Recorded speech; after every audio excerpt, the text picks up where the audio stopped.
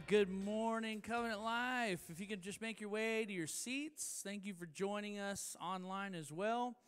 Um, you're probably thinking, is Pastor John going to lead us in worship? No, I'm not. I can't sing, but that's okay. I can dance, okay?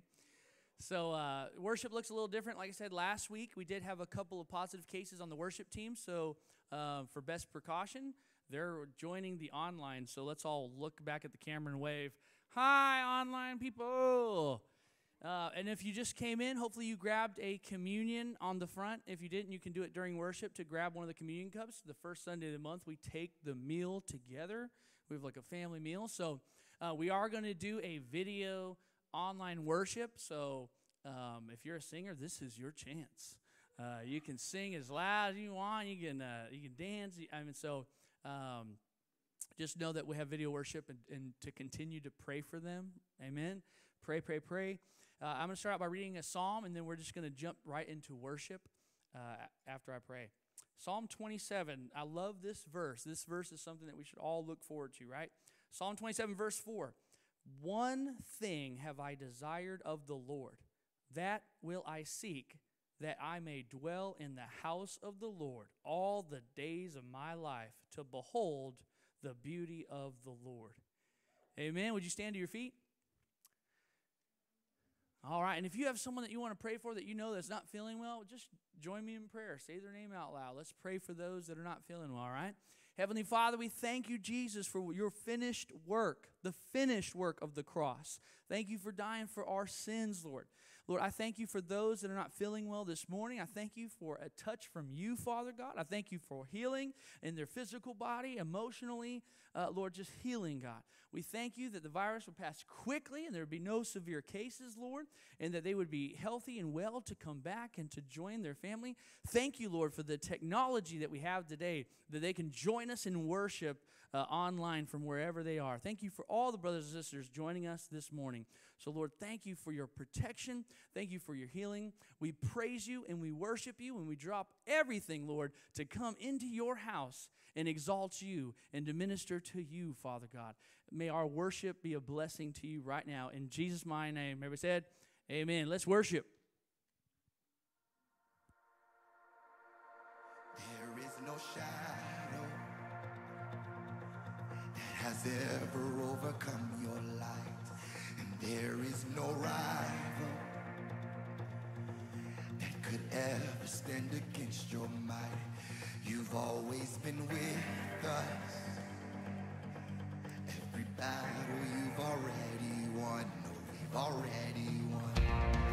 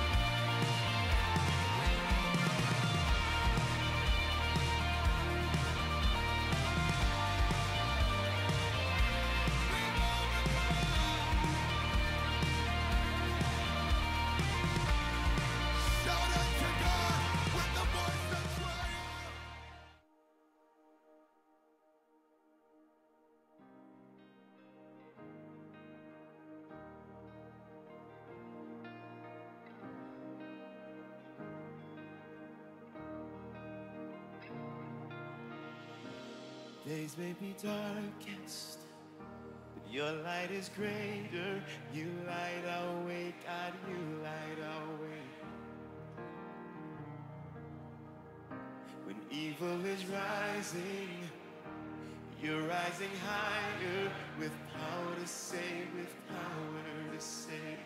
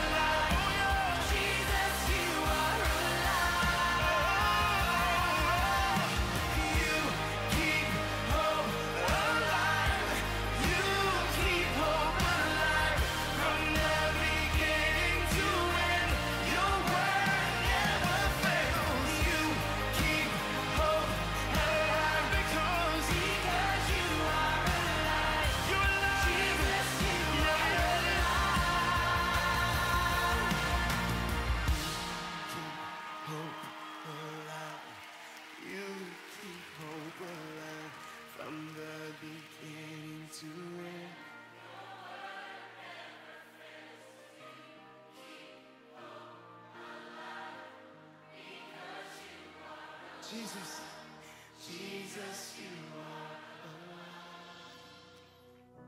The Lord bless you and keep you. Make his face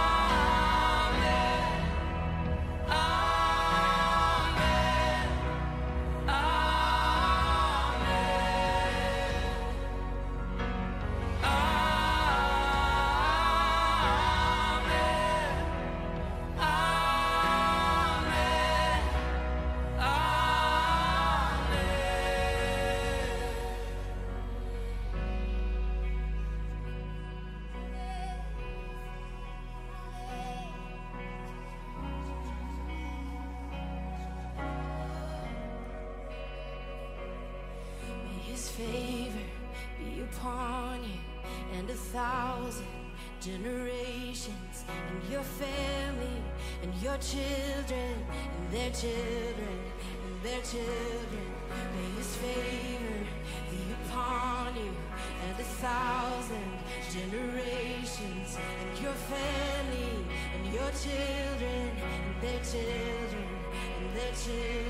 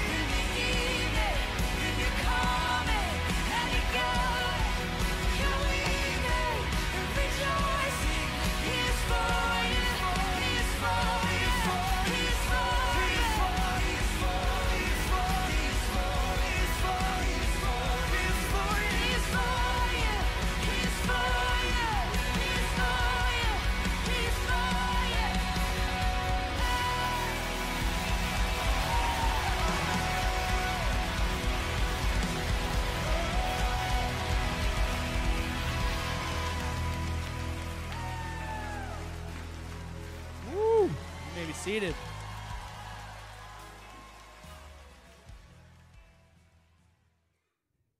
Thank you, band, for stop playing. You just,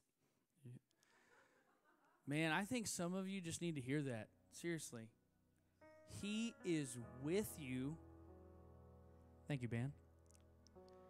He is for you. And nothing will separate you from his love. And what the enemy tries to do is every time you mess up, every time you have a wrong thought, every time something happens, he tries to shame you, guilt you, and condemn you. And you just got to know he is with you, he's for you, and that nothing you can do can separate you from him loving you. And when I when I heard that song, all I could think about was how many people, you know, as a pastor they call me because I just feel like I did something that just stopped God from loving me. It's like, it's not true. It's not even close to being true. And it's so crazy because Christianity, in of itself, can easily go kind of the wrong way. It becomes about everything that you're not supposed to do rather than what you're supposed to do. It can easily become that.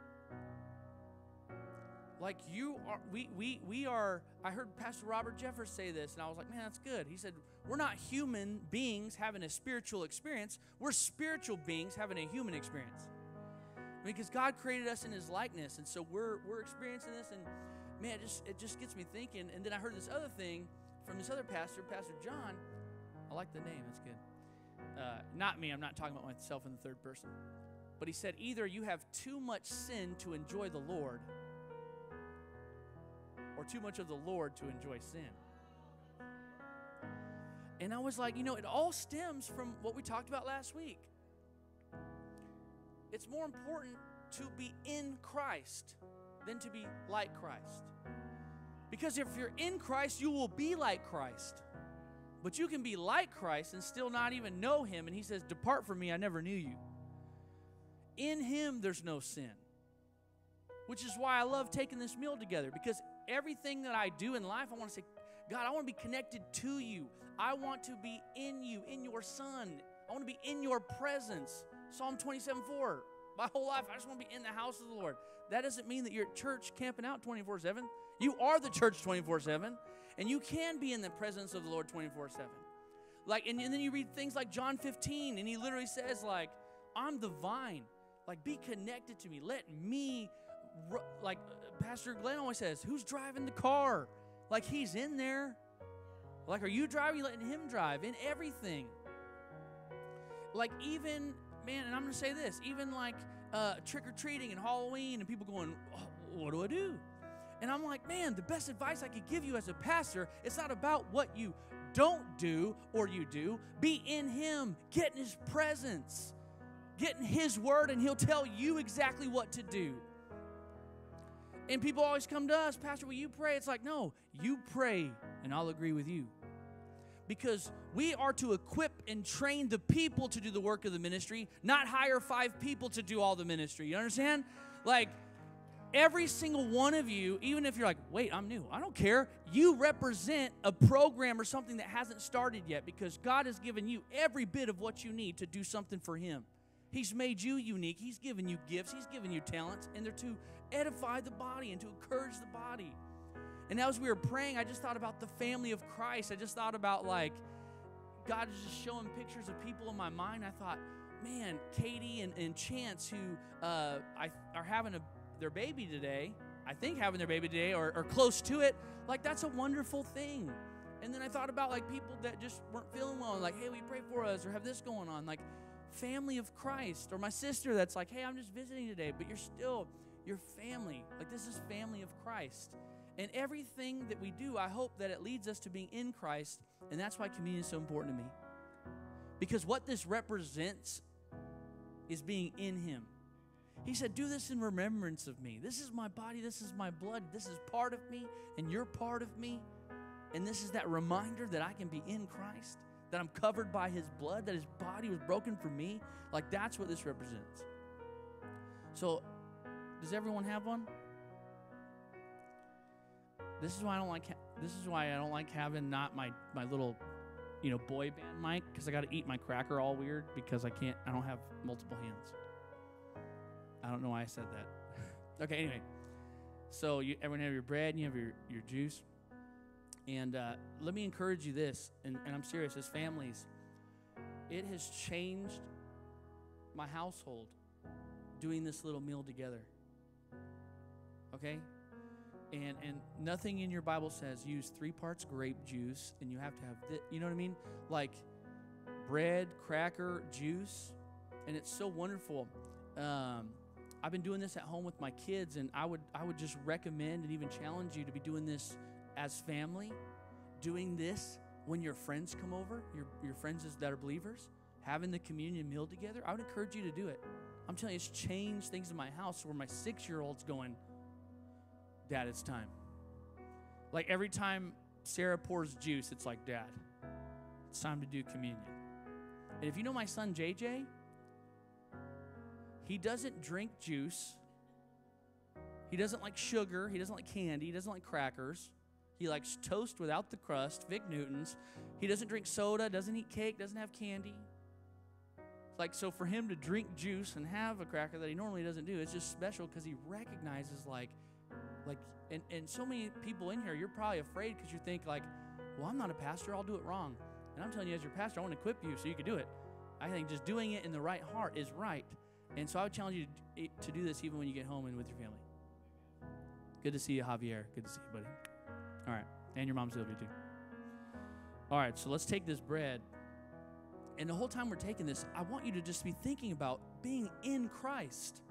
He is with you, He is for you. Nothing can separate you from His love. Like this every time represents that same thing that he he would bear all of my punishment. He would take all of that from me like it's significant every time. I don't want communion to become some kind of like christian automatic response where we don't acknowledge truly what it means. Every time we take this is special whether it's here or with your family because it's it's about being in christ. So as you take this bread just be reminded of him sitting at the table. Picture yourself at the table right now and him saying hey this is my body, and it's broken for you. I'm doing this for you. Let's take the bread. And the same is true. Picture yourself right now at the table, and Christ is looking at you, and He is like, This is my blood, and I'm pouring it out for you. I'm going to wash all the stuff away that you can't. Like, I, and I think about uh, the apostle who says, I think it's Paul who says, Why do I do these things that I don't want to do? Why do I think these things that I don't want to think? Like, who are you? What? What? And you all know what I'm talking about, right? Like, why did I why did I do that? Why did I think that's not me? And we're the reminder that that this washes us in him. Right? Just like Passover. He sees the blood, right? Like he looks at us and thinks about his son. And and that verse that talks about the adoption, meaning he loves his adopted son just as much as his only begotten son. And that's just overwhelming to even think about. Right? So as you look at this blood, like I said, you're at the table and he's saying, This is this is my blood. This is for you. You, you, you, you. This and, and do this often in remem- remem- remembrance of me. You know, not argue over you know what you're taking, but just do this in re- remembrance of me. So as you take this, I want you to be thinking about him and Him in you and Him giving His Spirit that lives in you. Amen? Let's take. Heavenly Father, we just acknowledge you. We acknowledge the work of your Son who died on the cross for every sin here. Every sin that was, every sin to come, you covered it all. You paid the price. You didn't do you didn't start the work, you did the finished work. The finished work of the cross. And so, Lord, thank you. God, Heavenly Father, thank you for looking at me as a, as a son. Thank you for looking at the ladies in here as a daughter. And, and just for your overwhelming love, that nothing that we can do could ever separate us from that. And Lord, so just thank you. And Lord, I thank you that everyone in here constantly keeps that heart that says, I want to focus on just being in Christ. I don't want to focus on what I'm not supposed to do. I just want to focus and, and, be more and more in relationship with you, more and more in love with you, more and more studying your word, more and more praying with my family, more and more just worshiping in my car, more and more watching things that, that, that are going to build me up, Lord. And so thank you, Jesus. Thank you, Lord. In your name we pray. Amen. If you pass these, um, John's coming, and uh, and my man, handsome ransom.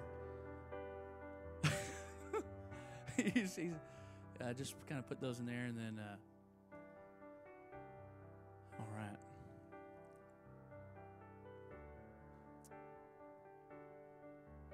Well, don't get mine. I'm just going to put mine right here then. On the carpet. There you go. Doing that. Brindy, will you bring me my Bible really quick? I there's usually a table, you know, so that you can just have all your accessories. My man, thank you. Yes, thank you. Oh, you're good now. I got it now. I, your daughter did it for me. Now I don't even need it, but he'll need it. So I want to just uh, encourage you with something too during Real Talk, um, which we remember how last week we had the talk. Remember that? All the new people are like the talk. Whoa, what is he talking about? The P word, politics. Remember how I said that it's important that we do vote. It's important that we have a voice because politics um, affect our everyday life locally, statewide, federally. Like policies are around you every day that help govern our lives. So, yeah, buddy, I'm going to talk about it. Yeah, buddy, I'm going to bring it up because it affects me every single day. Amen? So, uh, if you don't vote soon, you're going to be waiting a long time in line. So, there's that too. So vote for your values and don't be afraid to stand up for truth. Amen? Amen. So look at this. I want to say this and just look at it for real talk. That's all I want to say is um, the scripture that God keeps putting on my heart for everybody is, you know, that song, May his face shine upon you and give you peace. And we're all after this. Like, I want this peace. I want peace in my life. I want peace in my family. I want peace in my marriage. How many just want peace? Awesome. So look at this. And uh, this comes from Philippians chapter 4, starting in verse 1. Therefore, my beloved and my longed for brethren, my joy and crown, so stand fast in the Lord, beloved. And then I'm going to skip, skip a couple verses. Verse 4 Rejoice in the Lord always. Again, I will say, rejoice. Let your gentleness be known to all men. The Lord is at hand. Verse 6, check this out. Be anxious for nothing. The election. Eh, okay, I'm not going to preach because it's Pastor Glenn's turn. Be anxious for nothing, but in everything by prayer and supplication with thanksgiving, let your request be made known to God. Now, I love this because he says, out of that, let your request be known to God. But is the promise that he's going to give you every little thing that you pray for? Oh, I hope not. I've heard my kids pray. Lord, I pray for candy every day, for every meal. I mean, that's good prayer at first, you know, until you actually eat a bunch of candy and go, no, you're right, Dad. I'm sick. I don't feel good. But check out the promise. It's not to answer every little single prayer you have. Look at this. Verse 7 And the peace of God will, that surpasses all understanding will guard your heart and mind through Christ Jesus. The promise isn't that He's going to give you every little single thing that you pray for. But he does promise through Jesus that he's going to guard your heart and your mind. And he gives you the authority to take every single thought captive and submit it. Come on. That's some peace right there.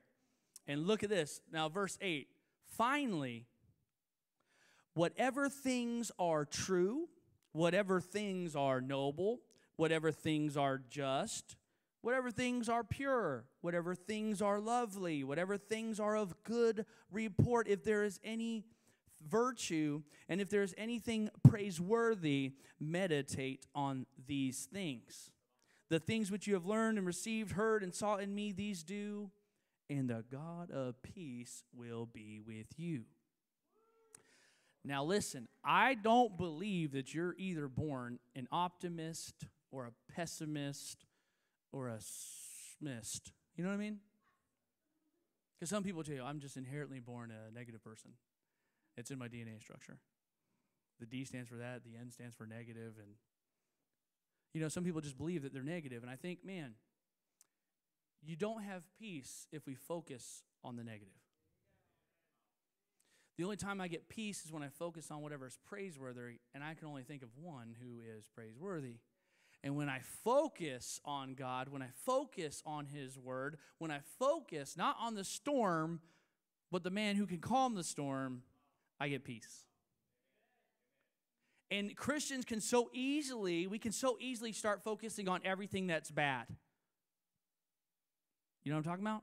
It's so easy to start focusing on the bad things. And, and, and as you as you cloud your mind with the negative, then it seems like there's the hope gets smaller because your, your brain's just full of all this negativity. And it's not saying that you're ignoring things that are very real. Because there's a difference between stating something and focusing on the negative. But what my word says is I want to focus on the things that are lovely about God the just things, the righteous things, the truthful things. Focus on these things. We, we wonder why, when we watch programs that are focused on everything of the world, and you, and you wonder why you don't feel good that day. Or you feel like, I just feel stressed and anxious. And it's because we're, when you watch programs or do certain things, that, that's truly where we're giving my, our focus, right? We're giving that the TV or the movie, we're giving it our focus, and therefore wondering why we're not feeling the way we should. But how many guys have ever just sat with a brother or sister and you just talk about Jesus? You know what I'm talking about? Like Julie came over to our house the other day and Sarah was doing her nail. And we just talked about Jesus. And you leave meetings like that going, oh! Miss Joyce called me and was and gives me a testimony, and I'm like, woo! Ugh! I mean, I don't yell in her ear, but I'm like, I get excited. And there's so there's a difference when I'm watching something that's full of the world and full of all that junk, and then I walk away feeling like, oh. There's a difference in that when I'm just talking with some brothers about, hey, let's just get together and eat spaghetti and let's worship. And then you just, whoa, yeah, you just get excited about God. And that's how we should be. We should constantly be excited about God and His Word and going, man, what can we do? I'm not going to preach a sermon, so stand up, please. All rise. No, seriously, all rise. Some of you guys are looking for the bride. Um, we are the bride. Come on. I know, I just saw that. Chris is like, that was good. I do, I know, that was good. So we are the bride, and Jesus is the groom. And uh, this is a church, this is a family where I would never, the pastors here would never want you to come and get this perfect service and product and then leave and not know the body. Like you're all family, and so we want to get to know you. If you're social distancing, please remain seated, and we'll respect that. Everyone else, you're gonna have an opportunity just to uh, just to say hi to someone, love on someone, bless them, say, "Hey, what's up? Good to see you." All of that in three, two, one. Let's be the church.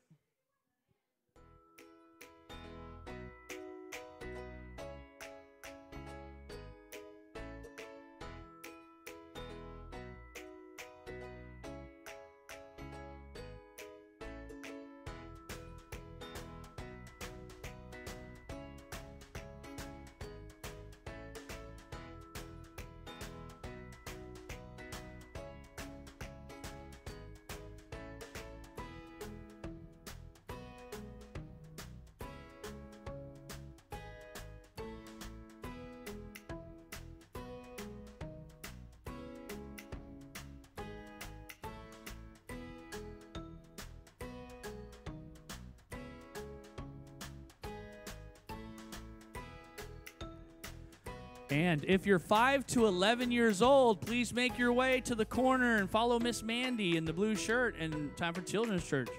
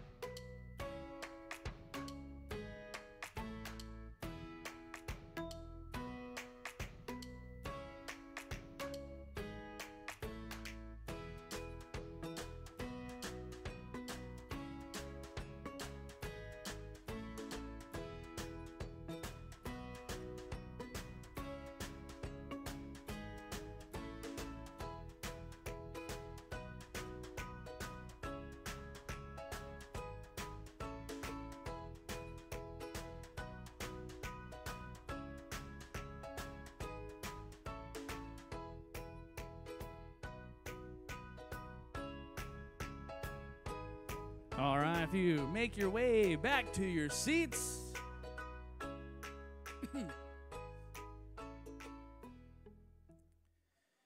All right, the music stopped. If you don't have a chair, you're out. You're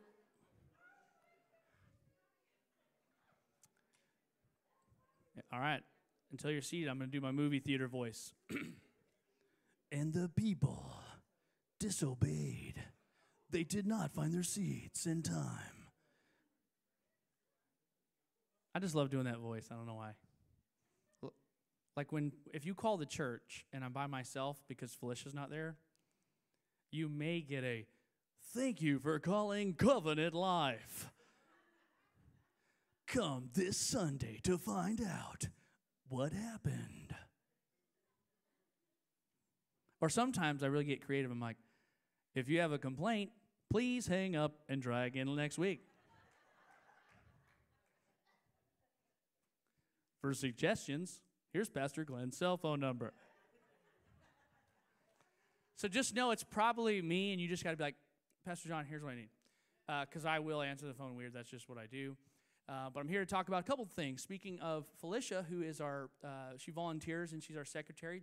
Uh, those of you that don't, you know, use computers and all that kind of things, we do have for what's going on. You can connect with us, and she actually makes a calendar for all of our seniors and people that uh, want the printout. If you're kind of one of those printout people, then uh, we don't have them today, but we'll have them next week. It's a calendar of what's going on for the month. Okay, so the other ways to connect with us is we have the email thing. So if you want to get on the email thing, go to covenantlife.online and subscribe to the email list, and you'll get the emails from our church of like everything that's going on in the church, all of our social media, the YouTube. If you want to go back and watch one of the services that you missed, whatever, covenantlife.online. That's our handle for all of those things. And at the Connect desk and in the seat backs in front of you, you see the Connect cards. That's what we use, like I said, to get the information. Um, and I know I don't like it because I know it's cliche at church, like fill out a Connect card and we'll call you. Like I, I get it, but there's just no other way. That's a great way to get your information to be able to connect with you. So please fill that out. You can put it um, in one of the buckets or uh, set it on the Connect desk as you leave, and we'll make sure we get it. And um, for offering, there's a, a scripture that just was in my heart about giving. And you know, when we, when we look at when we look at scripture, just in general. Tom, good to see you. I hope your son won the soccer game. What's up? Online people, if I could see you, I'd probably point you out to you. Hey, Sarah, thanks for watching. Sarah's my wife. She she has to watch. Um, see, then I lose my train of thought. Then I'm like, okay, giving. Online. We're talking about tithing. We're talking about giving. It's it's important. Giving is important, and it's the way I look at it is like we're giving. God owns everything. Everything's His anyway, and it's just like so the opportunity that I can say, hey, I'm going to give I mean, I'm just, it's the great return. Like, you've given me, I just give back to you.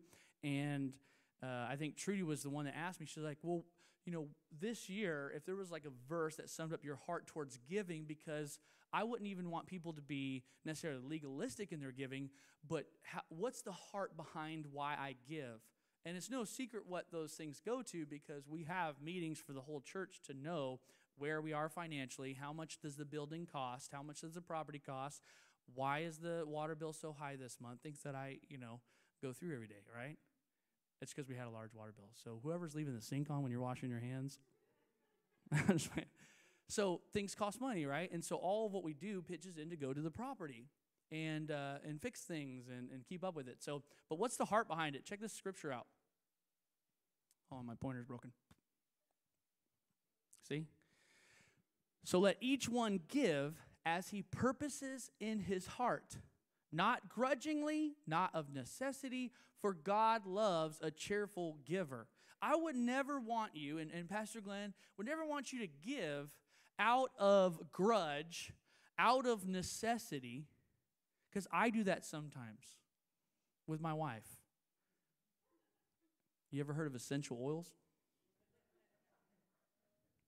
Okay, all the women are getting mad. I'm just going to change the subject. But sometimes you don't give out of grudge and out of uh, of a necessity, but just man, a cheerful gift. I mean, it's a it's a blessing to be a cheerful gift. It's a blessing when you when you uh, bless the car behind you and they're going, "Wait, what?" And sometimes you, you know what's amazing about giving cheerfully and doing that? Like when you pay for someone behind you, sometimes you minister to the person at the window more than the person that gets the blessing. Like even though like I was at Taco Bell and I brag on God, not on me. Because my flesh went, "Wait, is that a bus? How many does that seat?" Pull up my app real quick. How much money I got? what do I think he's going to order? You know what I mean? But there's a car behind me, and and uh, I, am like, hey, I'd love to pay for the, the car behind me, right? And uh, so the lady though, she she just looked so stunned. Like in today's world, full of garbage and all those things that you can choose to focus on, she went, "Wait, what?" Like the suburban with all the kids. I'm like, yeah. Like right now, like you want to pay for their stuff right now? Yeah. I mean, it blessed her more than it did probably the family. You know what I mean? Because she was like, man, the hope that we talk about is Christ, is Christ in us. And they see the hope of the world and they're like, oh my gosh, I need this, this hope. And I think the same is true, like in, every, in any gift, whether it's here or whether you're giving some time or anything else, when someone asks you to help them move, right? Giving cheerfully, that's my hard one.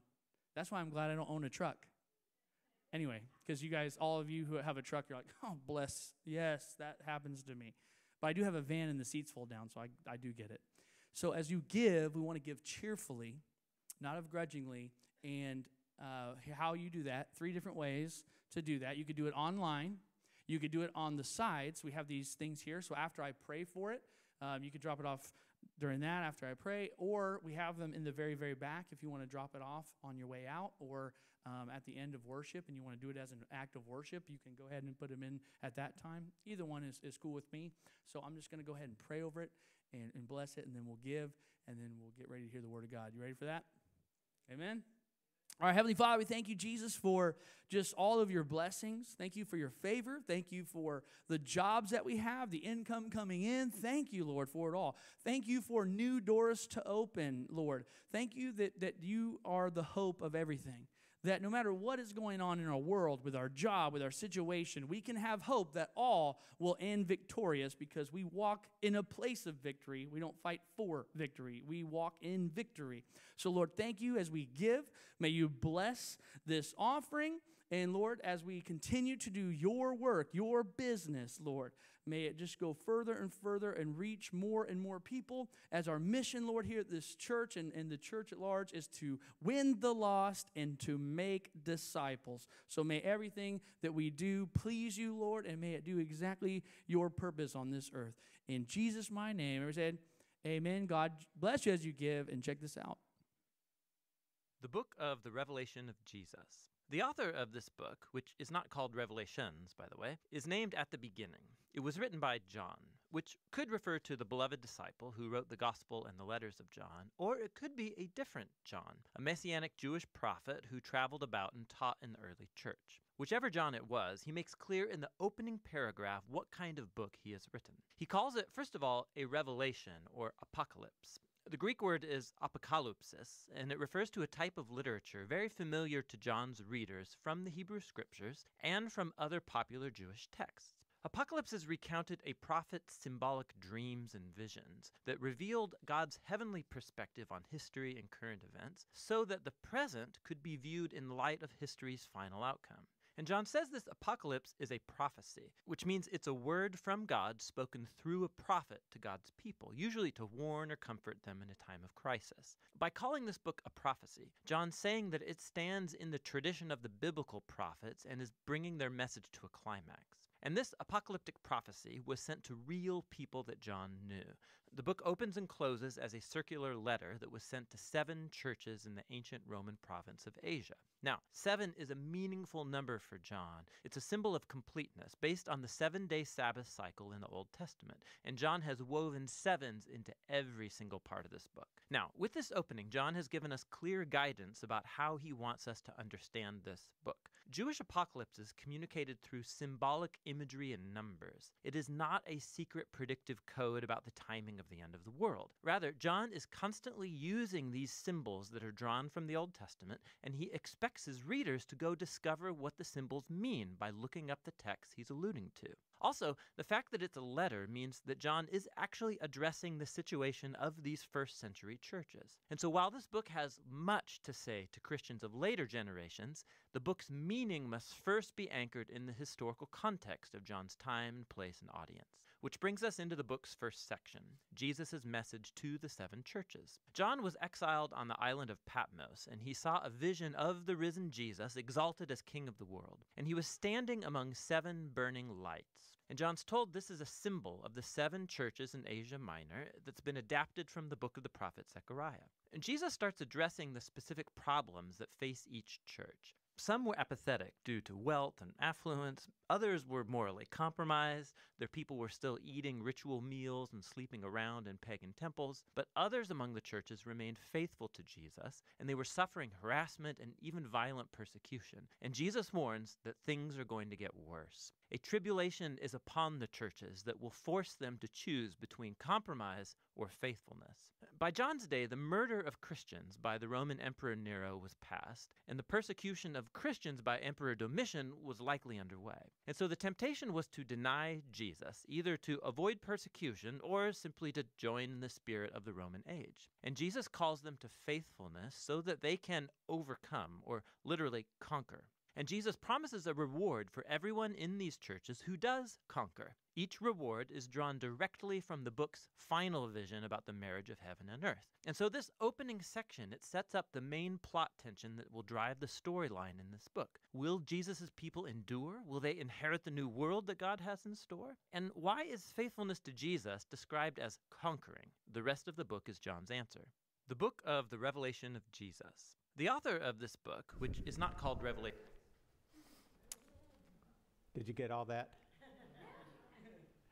Let's pray. Father God, thank you for this morning. We are so excited. We've already been so blessed through worship and fellowship and uh, being able to share your mu- the communion meal together and the exhortation of understanding who you are, who you are as our King and our Savior, and that we were able to take your body and your blood today and, and as a memorial, as a remembrance of you.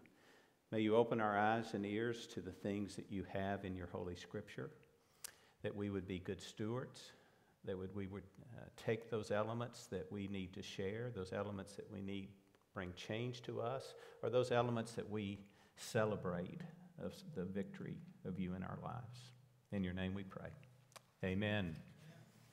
All right. So it, it's interesting. If you're new here, Pastor John and I sort of tag team. Pastor John has been teaching a series on spiritual warfare. And I started this series. This is the fifth message on the first three chapters of the book of Revelation, focusing on what is the message for today for us, which is why this book, this part of the book was written, was for believers, also for fellowships, and for the global church universally. So we're taking our time. This is actually the third of the seven churches. We took two messages just to introduce where we were going.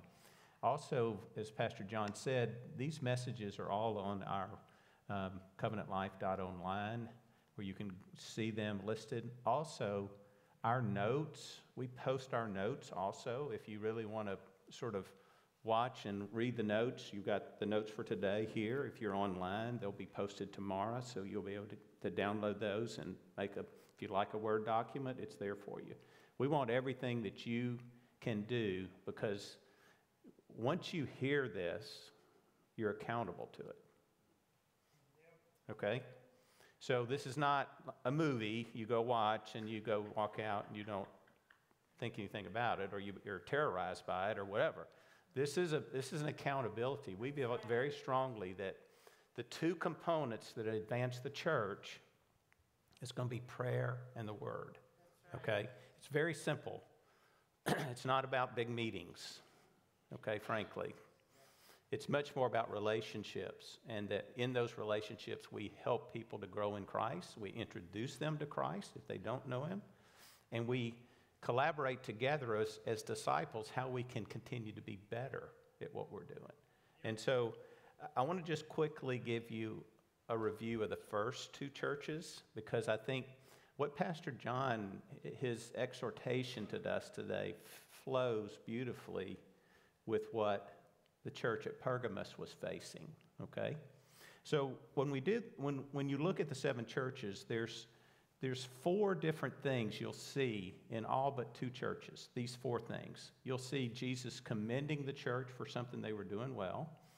You'll see the church being criticized for something they need to stop doing or do differently. You'll also see that there's clear instructions, and all of the churches were given. Oh, we good there? Yeah. All of the churches were given a, a reward or a promise that God promised, the, uh, Jesus promised those churches. So in Ephesus, Ephesus is known as the loveless church.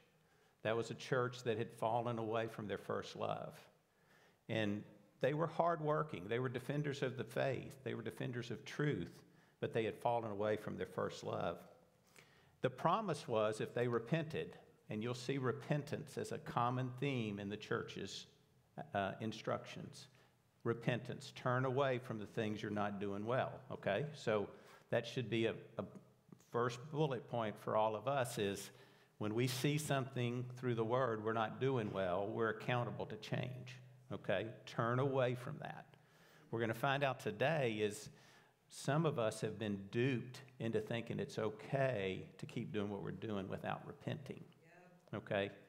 So the promise was, if to the church in Ephesus, was if you repent and you pursue the Christ, there's the promise that you'll eat from the tree of life in paradise. Amen.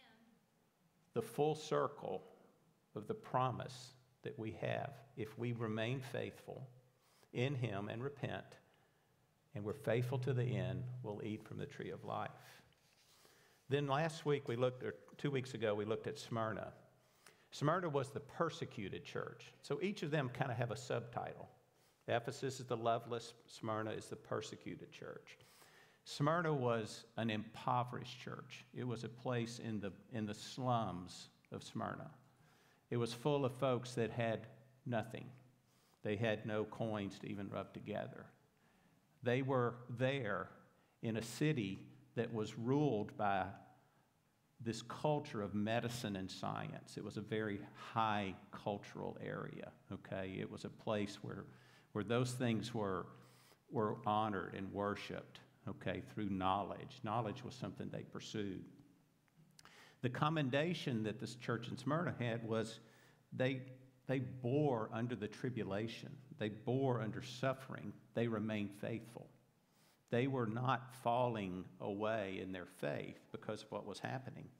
In fact, internally in Smyrna, there were, there were Jewish, quote, Christians who said they were Christians but weren't. They didn't follow the Mosaic law, they didn't honor the, the, the, the teaching of the future Messiah.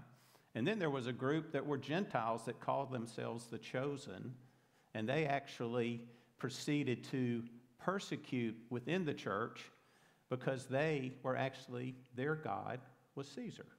So here we have this band of folks, and you have to remember, church then wasn't anything like church now.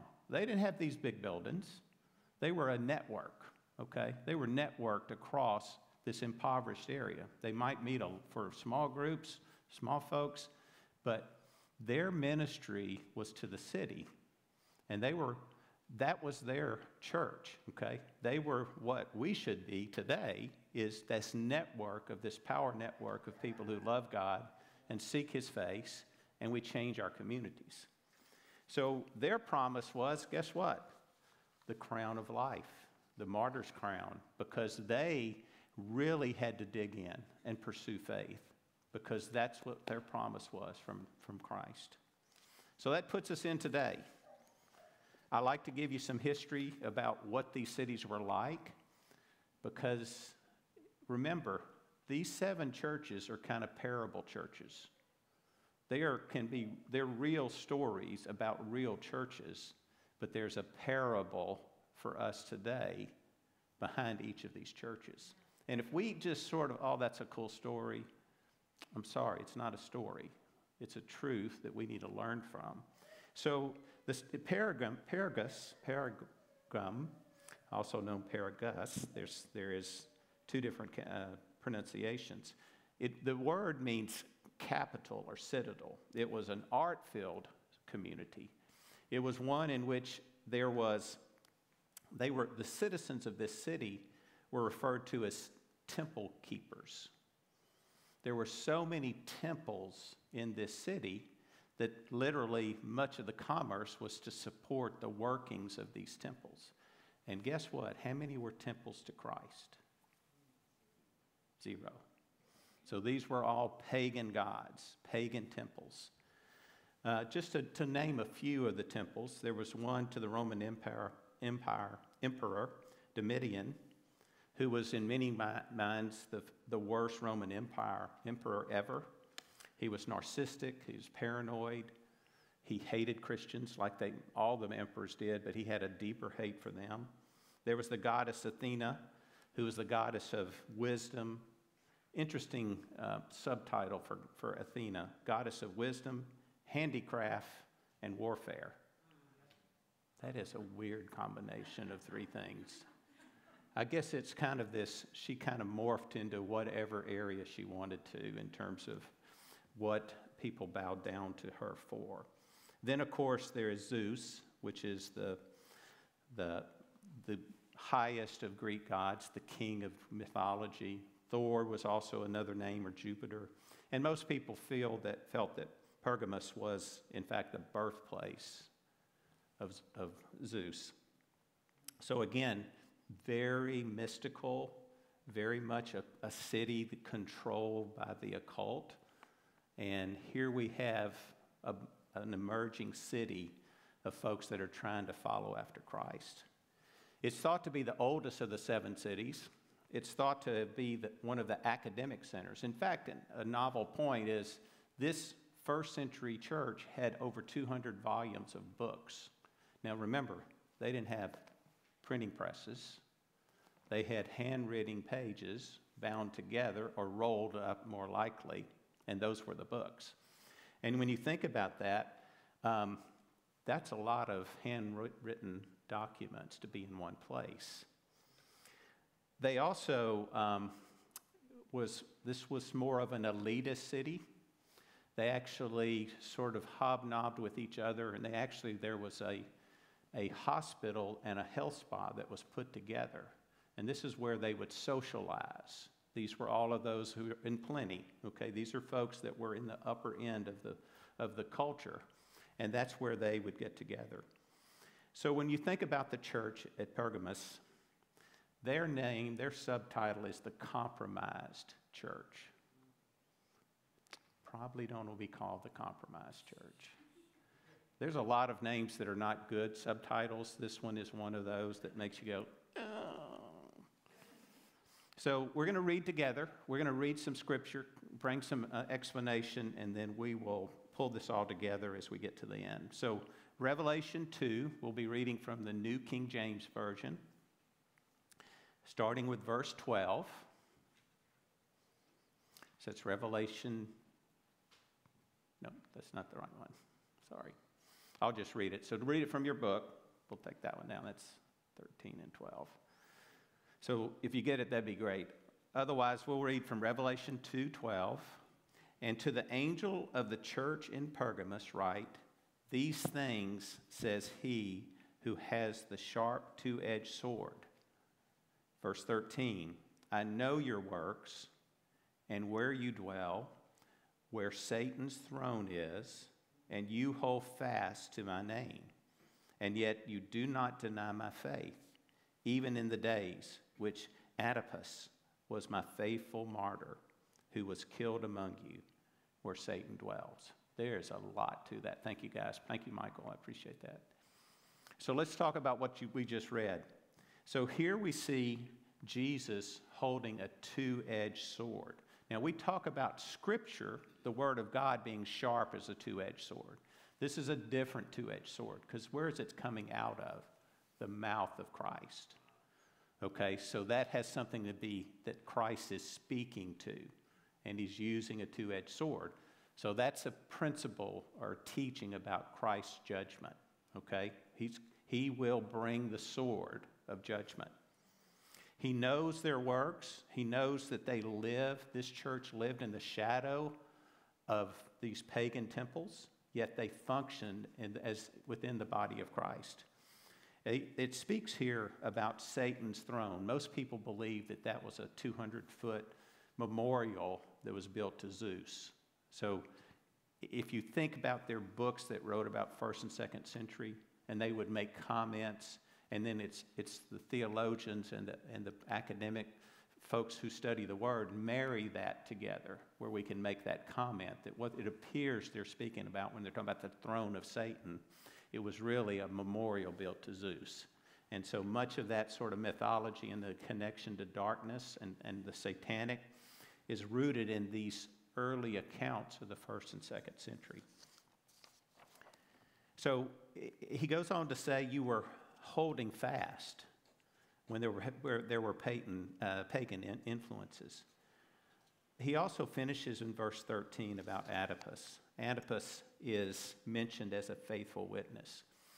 So this is a very interesting story, dear to my heart, is he was a physician, but he was recognized by his colleagues of trying to covertly convert his colleagues to Christianity.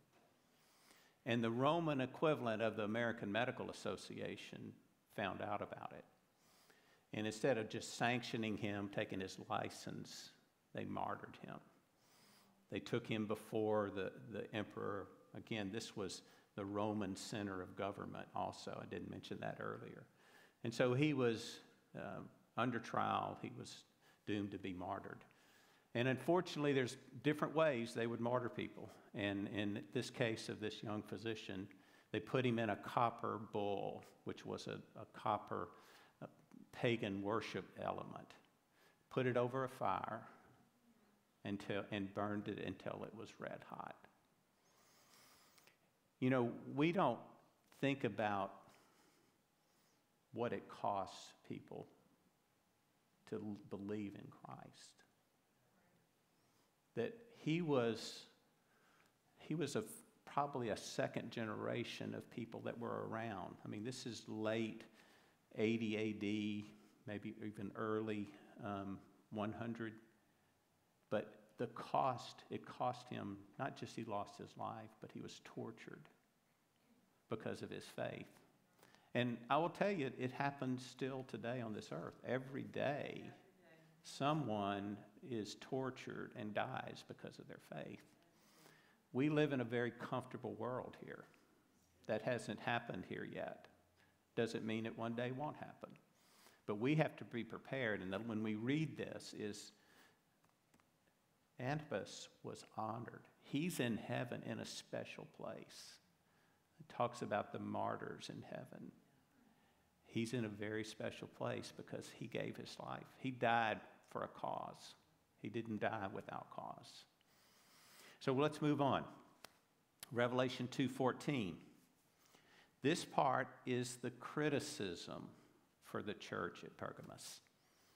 But I have a few things against you because you have there those who hold the doctrine of Balaam, who taught Balak to put a stumbling block before the children of Israel, to eat things sacrificed to idols, to commit sexual immorality.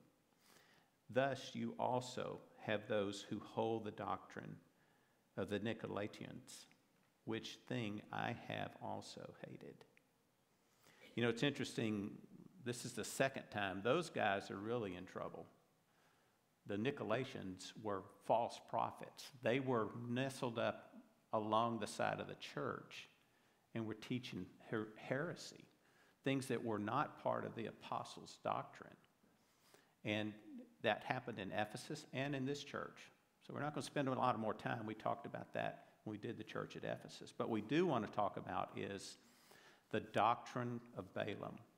Balaam's mentioned two other times in the New Testament in a different vein. So we're just going to focus what the Revelation 2 scripture says about the doctrine of Balaam. So the story is, it actually has a lot of parts of it, and many of you already know it, and I'll share it in, in briefly. So Balaam was a prophet for hire. He would prophesy for whoever would pay him. He was some 30 days' walk away from King Balak. Balak was the king of the Midianites. And he was, let's say, he was in a pickle. He saw his other colleagues with nations being overrun by the Israelites. And he was on one hill and he looked over to see the valley of the Israelites, and he was outnumbered, outtrained, out equipped. It was a matter of if the Israelites moved his way, his country, his nation would be overrun.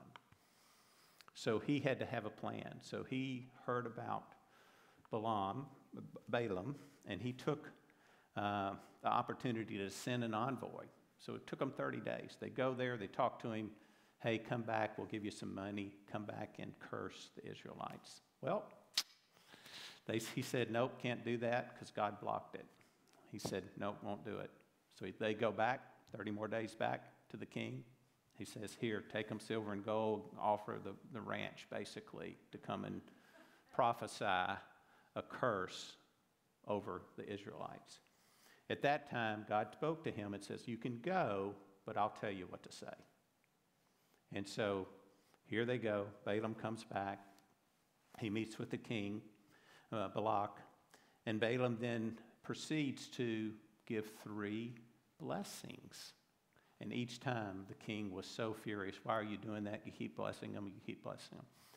In one of those blessings, it was interesting when you read it. It says, uh, Balaam says, no trouble was in store for Israel. And if you look at the blessings, they're really that it talks about this being the chosen people of God and that they're, they're special, they're anointed. But Balak sort of going, there's something else here. They're overconfident. And they had already, he didn't know this, had a history of falling to pagan gods. I mean, it didn't take long after Mount Sinai. They're building calves, golden calves, and worshiping. I mean, so the history of it, the Israelites were already very vulnerable to falling to, to sinning. And it's interesting that um, the covenant in their mind, despite their sin, could never be broken. So just remember that. That's what they were continue to hear. You're God's chosen people. You're God's chosen people. Here's your food. Here, we're going to cover you. You're wandering around for 40 years, but you're still God's chosen people. So it wasn't enough to having a covenant with the Creator for them not to sin. So the Israelites already were vulnerable. And so Um, Balaam is out of the picture. You can read the story of him and his donkey. It's a hilarious story. I would encourage you to read it. I'm Not going to go over that. It's, it's, I couldn't do it justice. It's, it's too good. So please read that. But so what happened was the king decided he wanted to introduce something into the Israelites that might be attracted to them. So he found his most attractive ladies, equipped them with food that had been sacrificed to uh, pagan gods, and also little trinkets, little sort of mobile um, pagan god images. And so they were sent into the fringe of the Israeli, Israeli, Israelite army. And as expected, they fell. They became engaged with eating the food, worshiping the idols, and then they had uh, procreation with a sexual encounter with these beautiful women. So suddenly now, a virus had been introduced into the army. A pandemic was about to happen because of their disobedience. So God quickly executed a mission for Moses to go and kill 24,000 soldiers. He had to stop the pandemic, had to stop the virus of disobedience because his fear that this spread so quickly, there were so many men participating that he had to put a judgment. This was his judgment, God's judgment. So, how does that apply today for us? You're going, hmm, how does that work for us today? So, when I started thinking about that, um, I can think about my journey in my relationship with Christ as a young boy. My perspective of salvation was I'm not going to hell, my reward is heaven, and there wasn't much that mattered in between because I walked down, signed the card, got baptism, got baptized the next week with no other than just the blessing of good parents and my nature was not activated to be as maybe as tempted, vulnerable as others, but I was not progressing. I only saw my salvation as heaven is my reward. So in reality, my my encouragement today for you in the room and you're on the on the virtual is to think about this is we cannot have our future destined by whether we get to heaven or not. Amen. So it's very important, and Scripture speaks to this. And in Hebrews 10, New Living Translation, dear friends, if we deliberately continue sinning after we have received the knowledge of the truth, there is no longer any sacrifice that will cover these sins. So the reality is, just like in that nation of Israel. They, they were covenant breakers, even though they were part of the covenant promise to a group. So you see there how easy it is that people can make a commitment. They can be born as a Christian. We have, I can remember when we did intakes at our hospital, 98% of people check Christian on the little intake form at the hospital. You see the danger of that? That I went to a Christian church, so that's my faith. I, I participated in a vacation Bible school, or I got baptized in a church, a Christian church. But Rhett, the reality is, is this, this is the doctrine of Balaam that you can be compromised because you don't understand what your assignment is. Our assignment is not to go to heaven. I promise you, you will miss the mark if that's your target. That's, and nothing in between matters. Let's go on. So, got too many papers. The covenant people, we've been restored into righteousness and right relationship with our King for the sole purpose and destiny to build his kingdom. I'm going to say that again. Your purpose in Christ is to build his kingdom, to see this creation restored. Think about that. That is not what historically you will hear. It's about joining the club. No, it's not about joining the club. It's about serving the king. It's about living a life where we discipline ourselves. We deal with sin quickly.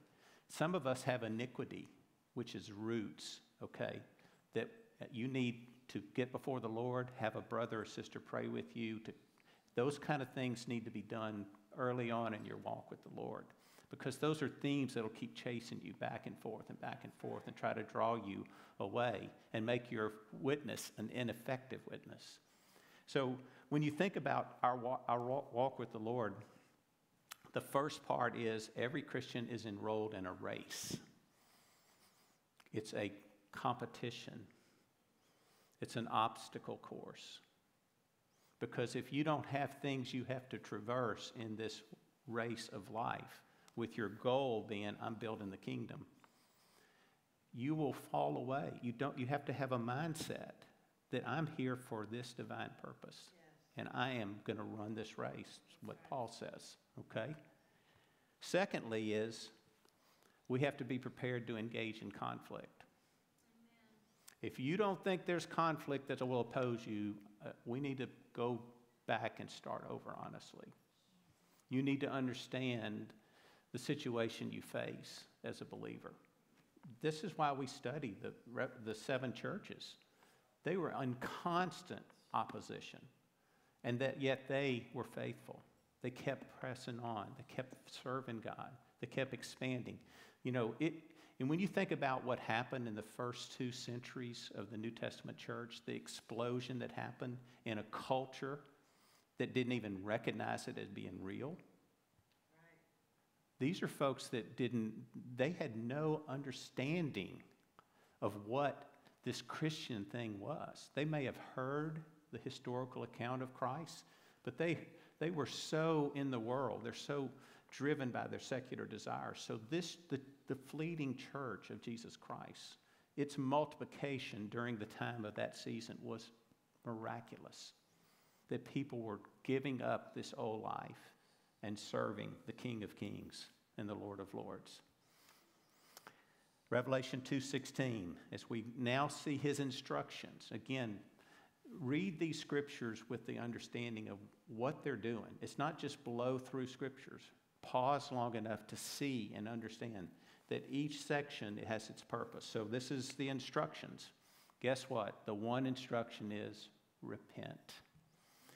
Or else I will come to you quickly and will fight against them, again, with the sword of my mouth. In other words, those who don't repent, judgment's going to come, okay? The sword of the mouth is out of the mouth of Christ will come. Repentance is not an option. I promise you, it is not an option. What Pastor John was talking about is the noise that can distract us, that's a temptation. I had to make some real hard choices in the last few months that the Lord started showing me this and says, you need to just step away from noise. Noise distracts you, okay? It wants to be where you can't leave it. You, you pull out that box and you check things that are just noise. It doesn't bring value to what your mission, your calling, your purpose. So, this exhortation, the one instruction for them was repent. It wasn't complicated. You got to turn away from the things that are not bringing what Pastor John read. Finally, the promise. Verse 17, he says, He who has an ear, let him hear what the Spirit says to the churches. To him who what? overcomes. How many times have we heard that in the first three ch- churches? This whole idea is about opposition. How do you fight? How do you overcome? Because when you overcome, you get stronger and you're ready for the next battle, okay? Those battles prepare you for the next step. So read on here. I will give some of the hidden manna to eat. So remember, He has rewards at the end of each of these first three that are uniquely given to us to understand. So look at these three blessings that are promised for those who repent. And he says, He who has an ear, let him hear. Let him hear what the Spirit says to the churches. To him who overcomes, I will give some of the hidden manna to eat, first blessing. I will give him a white stone, second blessing, and on the stone a new name written, which no one knows except him who receives it. Wow, what does all that mean? Well, you know, it's interesting. When I, Pastor John and I, we read all sorts of things to try to come together and give you 30 minutes of value, things that um, you can take away, a few bullet points. So when you see this in the mid 500 BC, Jerusalem was overrun and the temple was destroyed. What was in the Ark of the Covenant? Pot of manna, Aaron rod that buddeth, Ten Commandments. Okay, we're going to have a lesson on that next time.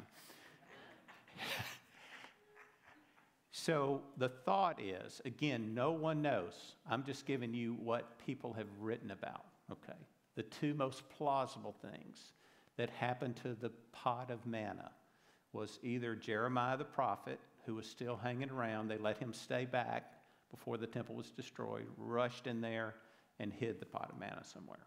Okay, that's one thought. And again, I'm not saying what happened to it. It's just people write about it. It's interesting to think. The other would be that an angel came and took the pot of manna, secured it in heaven for what was to come later. Okay?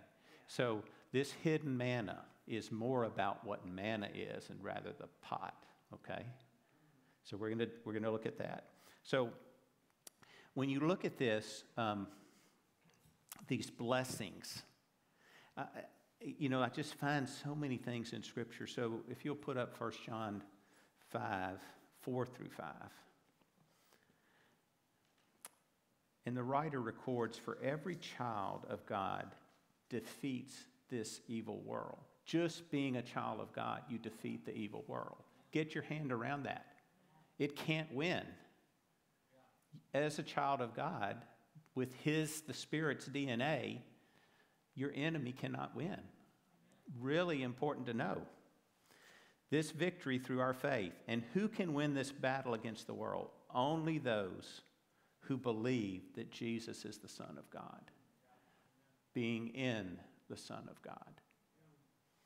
You know, the demons know that he was the Son of God, okay? There's a difference. What the scripture is talking about, believing in, being in the Son of God, Jesus Christ. So the hidden manna. You know, it's interesting that manna was one of the two items served on the menu during the the time of the exile. And that menu, that manna, which was bread, sustained and strengthened the Israelites. Fast forward, what is, who is the bread of life? Jesus. What else do we call the bread? The Word. So if you think about that, let's read John 6, because Jesus, uh, this is actually so great because we just took the bread and this is Jesus talking about him being the bread. So, John 6, 48 through 51, and then we'll cut over to 58. I am the bread of life. Your fathers ate the man in the wilderness and are dead. This is the bread which comes down from heaven, that one may eat of it and not die. He's speaking of himself. I could see himself tapping himself on the chest when he's telling his disciples this. I am the living bread which came down from heaven. If anyone eats of this bread, he will live forever. And the bread that I shall give is my flesh, which I shall give for the life of the world. Wow. We should read this regularly because it really connects all the parts of how can you survive? You have to have the bread. You have to consume Christ. You have to nourish yourself with Christ. Then in verse 58, he goes on to say, This is the bread which came down from heaven, not as your fathers ate the manna and are dead. but who eats this bread will what? Eternity. So he's already saying that the blessings is the hidden manna. That it's hidden from the world, guys. That's what he's talking about. It's not hidden from us. For you, if you're in Christ, you know about the bread, that he is the manna. The other two are very interesting um, blessings. And again, reading lots of folks who've written about this. It's most consistent with an award that in ancient Roman culture, where there was a contest, the victor was given what? A white stone with their name written on it. The equivalent of a trophy, a plaque, an award. But get this with that award, you got invited to the awards banquet. What does that mean? What's that awards banquet we would be invited to? The wedding feast. Woo wee! Here, you get this award, and it's got your name on it. In fact, he talks about a new name. So, most folks feel like it's a new name that the Holy Spirit gives you. Yes. Okay? But you get to have this stone with your new name, and you get a ticket to the banquet. Yes. You get to go to the wedding feast. Yes. Wow. If that doesn't get you excited to be at the table when the wedding feast is served, wow. That's how much, listen, guys, I never understood the precision of the Word of God. It is precise, and you need to treat it as a precise document. It's not a bunch of words that somebody decided to write, it's an integrated word. It's precise to represent exactly what the Father in heaven, His Son, and the Holy Spirit are to communicate. And the reason we, we see it toggling back and forth, just like the video there was talking about, so much of Revelation is embedded in the prophecies of the Old Testament. So we need to be very good students. Don't take off and, and come to some conclusion about Revelation until you've truly studied it. Okay? Don't take someone else's opinion. All I know is Jesus is coming back, and all I know is the church better be ready. And I know that the church better learn from the church's past mistakes and start applying to those today so that we can be the church that Christ demands. He demands that of us. What, he gave his life, he suffered and died. Are we sure, uh, expect to be spared that? Absolutely. I mean, we've been spared that in this world, but I'm not sure that the church is advanced because that was never a threat. In countries where martyrdom and attacks of the church, where is it? What's happening? Boom! Exploding because of the resistance. Because the, the darkness brings out the light. So today, as we prepare our hearts, I believe there's sort of three, I think of things like swim lanes as a swimming contest. Okay? There's lanes out there.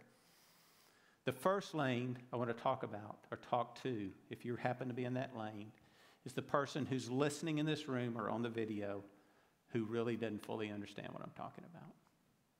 Because to understand this, you have to have a knowledge you have to have your mind awoken to the understandings of Jesus Christ. But for those here or on the, on the uh, virtual visit, uh, virtual uh, presentation, please reach out to Pastor John or myself or some friend of yours that you know because it has to start with a new beginning. It has to start with a new heart. Your old heart won't work. It has to be exchanged for a heart of flesh. And if you don't understand that, it's, it's about understanding that you, your sins can only be covered, the consequence of your sin can only be covered by a Savior, a Lamb of God that gave his life for you. The second swim lane is sort of, which I believe most of you are here. You're a disciple of Christ. And if not, you want to be a disciple of Christ. and you want to lead others to Christ. And I pray that you will seize every moment that you're given. We're not promised tomorrow. Seize it, grab it, pursue it. Your family, your friends, your coworkers. They need to know because guess what? The unbeliever can't experience or see God's love. It's blocked. How do they see God's love? Through us. It's us that introduces them to the love of God. It's to us that introduces that unbeliever to hope, to peace. Why do you feel the way you do? That should be why people are asking, How? You're like you're on some medicine or something. I said, Yeah, it's Jesus. It's the hope of glory. So I, I, I please, I appeal to you today. Don't trust, don't treat that precious gift you've given lightly. Give it away. It's to be given away. The more you give it away, the more you grow. The third group is a, a more challenging swim lane. That's the ones that are swimming along. They've been to church. They made a decision. But there's been no transformation. The sin nature still is in charge. And that's the, the deceived group. And I'm not sure that I was probably in that group until about 20 years ago. So I understand what it's like to sort of be connected to a, an organization, but not know the King. Knowing Him intimately and knowing His Word and learning it. Man, every day there's something new that's popping something new principle that then you go, man, I got to tell someone about that. So stand up if you will. So we're going to spend some time worshiping in this last song. And I, I would challenge you find somebody that you know that needs Jesus. Start today praying for them. You can move mountains in prayer. Those lives the, the sadness that the people die today and never knew our King. And you, as disciples, make a commitment today that you're going to dig in, not to necessarily know more, but be more like Him. So I would really exhort you today. And finally, those of you who find yourself wondering, man, I'm still struggling with some of the same things hey, come get it right today. Let's hit a reset, okay?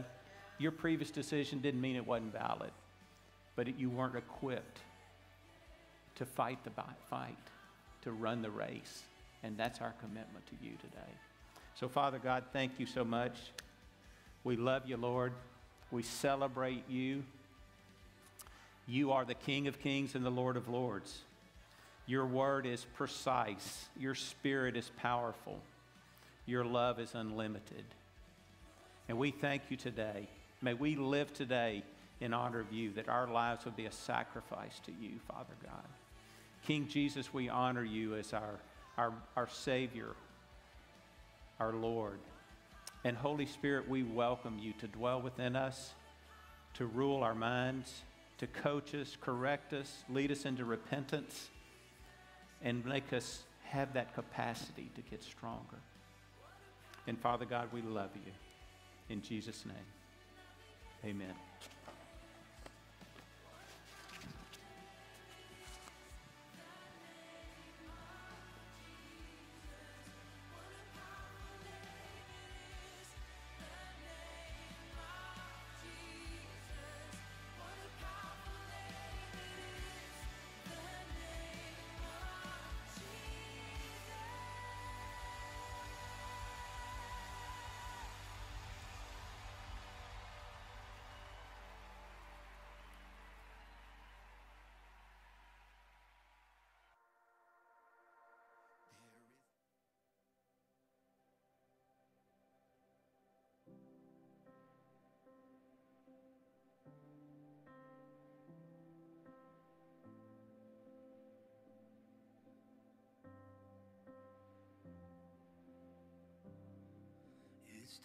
For the sleeper to wake.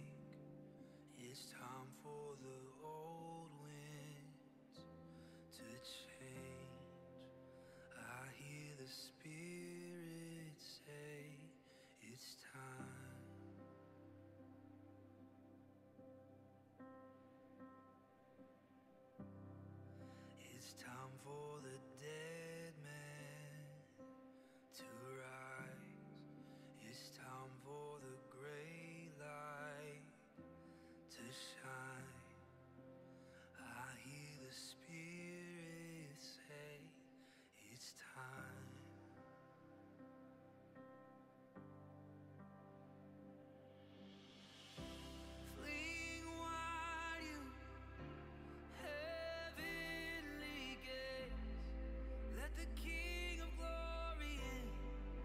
the King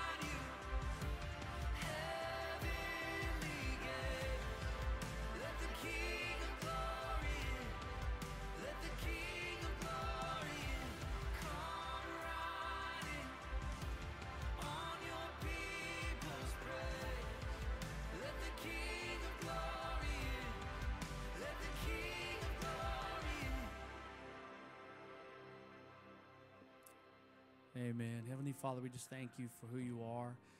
Lord, thank you for your spirit. Lord, I thank you that uh, you've given us a boldness that we would not be afraid to share your story, share your testimony, share our own testimonies, speak with boldness, and to speak with love, Lord, speak the truth. And so thank you for that, Lord. Thank you for equipping us with everything we need as we walk through our life, Lord, preaching the gospel. In Jesus' name. Well, I just, when I was praying, I did forget to mention something because I do want, you know, it is a family, truly. Like, it's not just a Sunday family, like the Sunday group of what's going on. It's like every day. Like, I know I get to be involved in a lot of your lives every day. And I see that with each other as well. It doesn't matter if you're a new person or whatever. Like church is truly a family, and it's and it's recognized in Scripture more than any other thing. Family, brothers and sisters of God. Like you should be getting to know each other's stories. We should be getting to know what's going on in the lives so that we can help and pray. And you share burdens. That's what you do. Like if one member of the body's hurt, the rest of the body's rushing in, going, "What can we do? How can we help?" So I did want to um, just acknowledge something in the room, just to be praying, because it is a family, and that is um, my brothers and sisters in the back. Um, Nikki's brother, who we've been praying for, um, he got healed, just not in the way that we thought that we wanted. Uh, he gets to he, he's everything that that Pastor Glenn's talking about. He gets to be with Jesus, and he gets to and he's so. Uh, just know that we love you guys, and it's hard. There's nothing you can say during a, a grief that's going to be like, oh yeah, um, because we miss the memories that we've made. But he's with Jesus, and you know, so you celebrate, but you also celebrate the promise uh, that you'll be together again. And there's nothing better than that. is celebrate and enjoy that time together because you know as you know when, when you lose a member of your family it brings the family together. Everyone comes in um, to celebrate that life and but also the promise oh the promise that we have uh, for the future. Amen? So bless them. If you see them just give them a god bless give them a hug. I mean uh, that's what the family of christ is for. But i did want to to just bless you as it says in numbers chapter 6 verse 22 we end with this today and the Lord spoke to Moses, saying, Speak to Aaron and his sons, saying, This is the way that you'll bless the children of Israel. Say to them, The Lord bless you and keep you. The Lord make his face shine upon you and be gracious to you. The Lord lift up his countenance upon you and give you peace. So they shall put my name on the children of Israel, and I will bless them bless you. God keep you, give you peace. And remember, that's just real in my heart, as Pastor Glenn was saying, is you're a family. We share burdens, but also we celebrate with you and we celebrate. Uh, so just know that as you go, uh, we do have Prayer Wednesday. And so if you'd like to come to Prayer Wednesday, I don't think there's very many other announcements except if you know someone that needs food, the North Texas Food Bank is doing their mobile food pantry. Uh, next Wednesday, November 11th, 9 to 11, it's drive through, and I need volunteers because I only have about three so far. So if you are off work, come help me bless the people and love on them November 11th. All right. Well, thank you and love you guys, and I'll see you midweek.